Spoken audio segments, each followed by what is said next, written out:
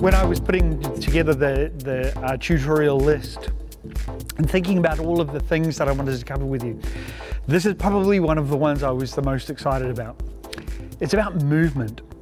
My light painting for about the first three or four years was all about spinning orbs. And we're going to do uh, a pretty epic, as I'm sure you can imagine, amount of orbs uh, when we're creating these tutorials. But by the nature of spinning an orb, you're standing in one spot and you're rotating. And so there's a circle that's about one meter across that you stand in and you create your orb. So you're not moving, you're pretty much just standing in one spot the whole time. And so maybe my very first three or four thousand light painting images were um, standing in one spot and rotating. And there was this moment uh, where I discovered um, blades it was. I, I remember uh, Patrick Rochon. Uh, I, I, went down that rabbit hole and discovered blades. And right in this room, uh, with that, with that uh, as a background, I remember going bonkers from one side of the room to the other uh, with blades. And it really got me thinking about movement. Uh, so let's talk about it uh, to some degree because, or even though it sounds ridiculously simple, it's quite complex. So I'm going to pick a, a light flute uh, to, to talk about this. It's good because it's a good size tool. Uh, it's quite easy to move. Um, so I'm going to start at the beginning. Uh, when you're creating a light painting image, we're thinking of this here as the frame, right? So we've got a basically a, a 4 by 3 or a 16 by 9 or however you decide you're going to crop your images to work inside. And so you're going to think about where you want the light painting to be in the image. Now, if we have something in the background, so when we start going outside to do our tutorials, we might end up having a tree or an object or something that is going to be the focus of our light painting. But for the purpose of this, uh, this exercise, we're just going to work inside this room and like all of the tutorials we're about to do, you can take each of those nuggets and put it wherever you want. But this is what I want you to think about. A couple of things. Firstly, um, if we open the shutter and we just stand in one place and we stand like this, we're just going to get a, get a, get a giant blob of light, right? So there's a few things. Less is more, in my opinion. A well-considered slice through the frame is really nice, as opposed to just standing in one place and, and doing a thing. Now, there, it has a place for that. There is a tutorial we're going to do called using the intervalometer method. And for that, we do pretty much just stand in one space. But getting moving through an image and getting a flow in an image is a beautiful way to create really nice flowing images. So how do we do that? Well, this is going to sound ridiculously simple, but have a think about this. Get your feet moving. Now I know that my frame, right, starts about here, somewhere for our image, and it goes across to about here. So I've got that much space to use. Now, of course, and we're going to cover this, you can crop your images. We might just grab a slice like this out of it. But what I want you to think about is moving. So there's two ways that we can move. One is side to side, and then here's the wonder of light painting. There's a whole third dimension, and that's forwards and back, all right? So here's the first, if we think about, you know, if we think about this here as a dimension, ooh, that's exciting. But we can be coming forwards and back as well to create depth in our images. And of course, we can be right past the frame, and we'll do a bit of that sort of thing as well. But the trick to moving is this. It's knowing where the beginning is and where the end is, because that's the idea of our shot. Side to side on the frame and forward to back past it. And here's another thing really, really important to think about. The length of our exposure is going to determine how much of the background we see. And we'll do that in a little while. So what does that mean? It doesn't mean that we, so let's say we need to do a 30 second exposure in order to get the background. It doesn't mean you have to be in the frame for 30 seconds. Okay, you can either walk in the frame walk into the frame, do your light painting and walk out, or you can stop the light painting tool halfway through the frame and I'll show you how to do that right now. This is a great trick. Okay, here we go. So we come in, the shutter's open, and you watch what I do. I turn around, I put the light painting tool behind me, and I've turned it off. That's a great trick. So you come into the frame, one, two, three, behind and out, and then move out of the frame. And what's happening now is the camera is absorbing the background which is sometimes what we want. Not always, but sometimes. So you don't have to be in light painting for the entire time, all right? Okay, so movement is with the feet. Movement is with the feet, all right? Let's make some images. Yes, oh my God, this is so exciting. This is the serious part of the tutorial now. Things are getting exciting when we're actually creating images. Okay, so let's bring in, let's bring in the rig. Now, I want to reiterate, I've already touched on this, but I just want to touch on it again. The only reason I have this recorder on the top here is so that I, can record what is coming off the camera because I want you to know at all times exactly what's happening, what the settings look like, what aperture and, time, and exposure times I'm adjusting, and how it, how it actually looks. I want you to know there's no trickery or skullduggery going on here. All right, so I'm just going to pause and I'm going to set up a bit of a thing and then I'll come back to you and we'll do some movement. Alrighty, so I'll cover with you the details of how I've set up this shot and what we're going to be doing. So we're in the flower shed, you can see the background there, the big light. Uh, I've got the um, Olympus EM1 Mark III. Now I've got quite a wide angle lens on this, but I have it set to uh, I have it set to 24 mil. Uh, so it's reasonably wide because um, I want to get a big space because we're doing our movement, right? Now, I actually just went over while I was changing battery and I grabbed this to put on. Uh, and um, it's a piece of, piece of gear that is very, very, very valuable, valuable to me now. Uh, what it is, is it's one of the lens bags that just goes onto your um, belt buckle. And, oh, you got to see a bit of my waist there.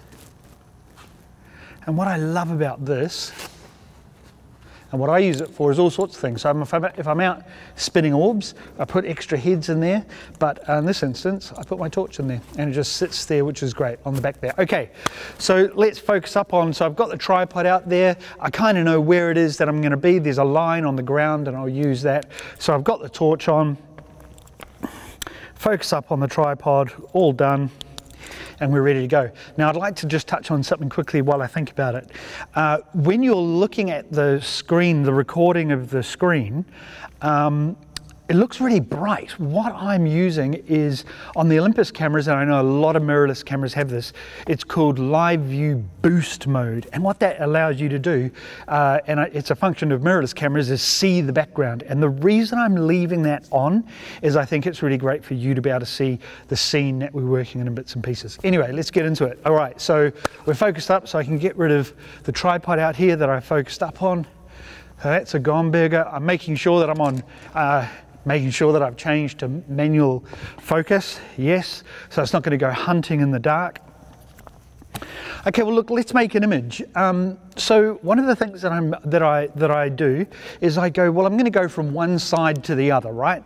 And I don't want to be open for too long. So I know it's kind of, if I'm out of the frame over here, I go sort of one, two, three, four, five. So, so you know, maybe five, ten seconds. So we'll start on I'll just start recording the screen. So we're recording the screen now.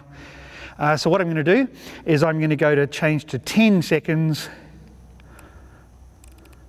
So I'm on 10 seconds, f5.6. Now f5.6 is where I start a massive amount of my light painting images. And the great thing about that is that even the shittiest, cheapest lens uh, can be at f5.6. So we're ready to go. 10 seconds, f5.6, ISO 200. I've got my light painting tool. Let's turn off, let's turn off these main lights. Cool, we can kind of see the background there so you can see what I'm doing. So I've got a two second delay to give me a chance to get out there and off we go. Two seconds, light painting tool is on and here I am moving through the frame. So my feet are moving, I'm constantly moving from one side of the frame to the other. And we're good to go. We should have an image there. Look at that. Beautiful. Okay, now this is interesting. I'll press play. Now what you're gonna see, what you're gonna see now, I press play, is that the background there is way too bright.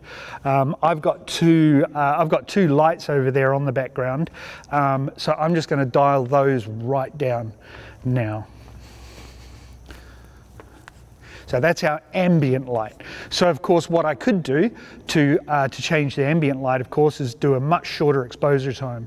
But I know I want to be at 10 seconds and that's my main deciding factor. Okay, so over in the corner, you're just going to have to trust me, is I've got a couple of lights on the back uh, on the back wall. So thinking about our uh, tutorial regarding ambient and uh, ambient light and artificial light, that's our ambient light. Now I've determined that 10 second is where I want to be and f5.6, so I'm going to dial down that light up the back there. I've got my trusty remote here, and if I can remember, I think we're on B back there. No, that's this one.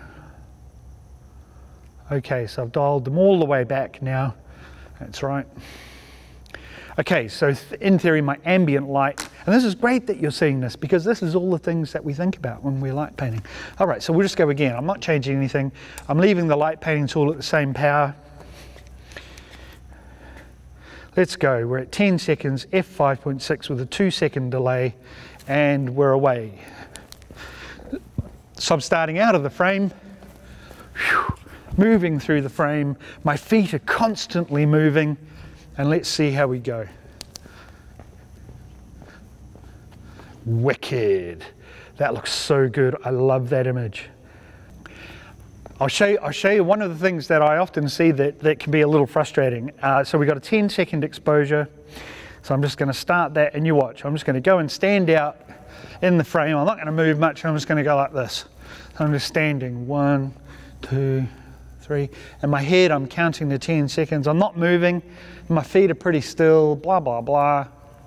And there we go. We're probably 10 seconds there. Yep, and what do we got? Just a giant blob. I mean, look, there's all sorts of loveliness in there, but not really. So it just shows you that, that moving, moving is really gorgeous. I'm just going to go again. One, two, three, four, five, six, seven, eight, nine. Lovely. Yep, that looks really nice. Now, one of the things as well that we want to talk about with movement is not just movement is not just movement side to side and I'm going to do some this way is also movement in the tool of your hand. Now whether it's a flute or it's a blade or it's any any handheld tool this is the other thing is moving of the wrist. So you can see this whenever you look at my images you know I'll zoom in on this one. So we'll zoom in yeah, there's a really nice section there. So you can see where it's transitioned from the lines on here to the dots. And that transition right there is twisting of the wrist that way. So twisting that way as well as twisting that way. And you get this beautiful, you're coming through the two dimensions, so you're coming side to side, but also in and out like that. And twisting, twisting the wrist and you get a beautiful sort of a transitioning feeling uh, to it if I zoom out again. Now here's an interesting thing to think about. Now I'll just pause that. So here's an interesting thing to think about uh, with, with, uh, with our light painting images. For me, when you see a flute image in a place like this of mine that looks, uh, that, you, that you might find appealing, some nights I will create 20, 30, 40, maybe 50 images of one style like this and find one that I really like. The other thing as well is that you can zoom right in and pluck out little bits and pieces from here. Um, but we're going to do a whole tutorial on that. All right, bit more movement. Here's what I'm going to add into it this time. Um, looking at that, just for fun, let's experiment. So the light on the background is very dim, so let's extend our exposure time a bit out to 20 seconds. I'm not going to change anything with the tool. I'm not going to change the aperture, but I want you to see how it brings out the background. And that's going back to what we were talking about, about exposure time. Uh, exposure time takes care of the ambient light and the aperture takes care of this. So we're going to leave everything the same. We'll just turn these lights off again. Okay, so we are at we're at uh, f5.6 again. I'm not going to change that because I'm happy with the tool. We'll stay at f5.6.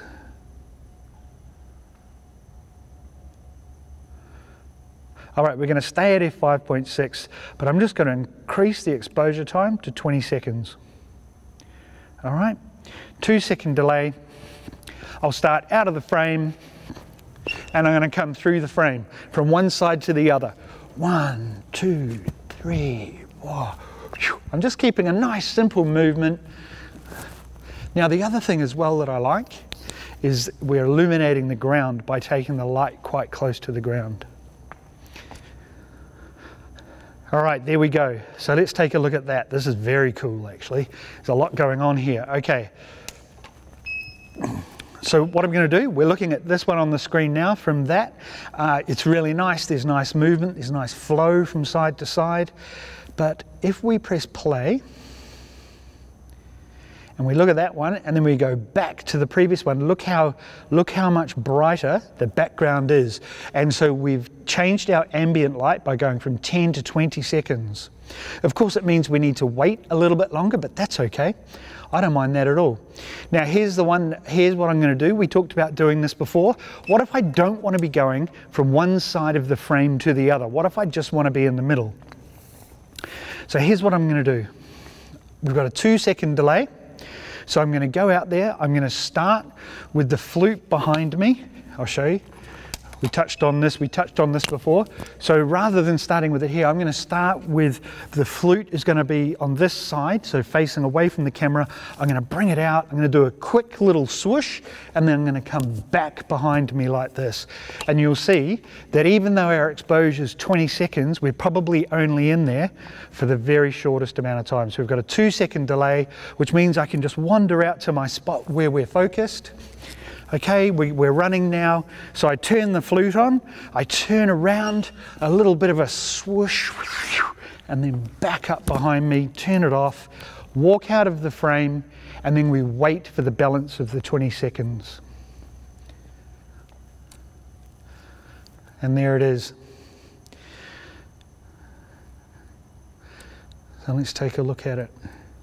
Ah, you can see a bit of my shadow because I, went, I took it behind me. But yeah, it's just a quick little swish. Uh, I think you can see my feet on the ground, but that's all right.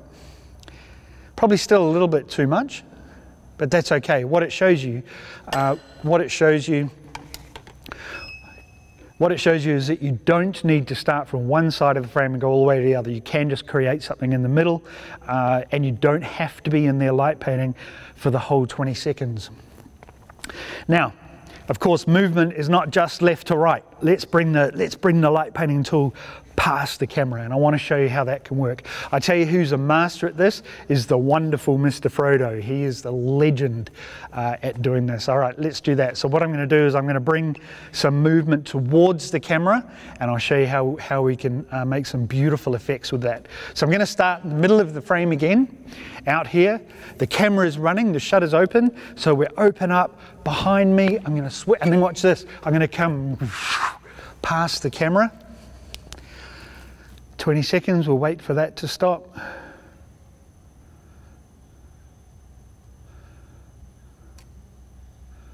Look at that. That's so good.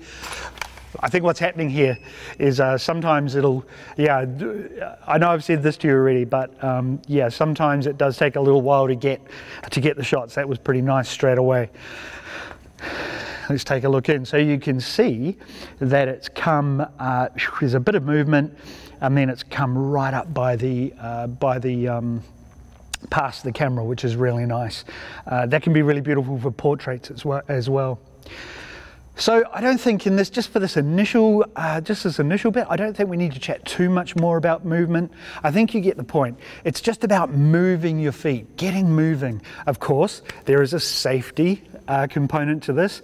Obvious if you're out on a surface that is uneven, if there's trees around or rocks, you want to really survey the area first before you start doing it. Uh, I want you to be really careful about that. Tripping and falling can be quite dangerous. But yeah, get your feet moving. I will be referring to that a lot. We'll be talking about movement heaps, not just forwards and backs, getting the wrist moving, getting the tool moving. Sometimes you want quite a simple movement, but, um, but yeah, I'm a massive fan of movement. And I've done, I'll show you some images in this room that I've taken where it's just all about being uh, running around and, and going crazy. Movement is good. Woohoo!